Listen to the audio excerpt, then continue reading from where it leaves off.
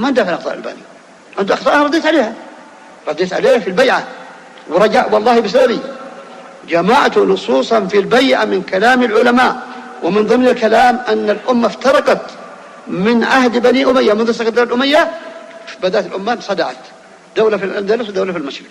وبعد أيام قليلة صدعت الدولة مرة أخرى إلى خمس دول.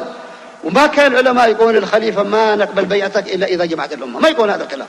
أقروا هذه البيعات وجئنا بكلام ابن تيمية وكلام الإمام محمد الوهاب وجئنا بكلام الشوكاني والصنعاني وغيرهم. صديق حسن خان وأرسلناه للألباني. بارك الله فيك. وقرأوا عليه أو قرأوا عليه تلاميذه. بارك الله فيك. وأعلن تراجعه والقول بجواز تعدد البيعات.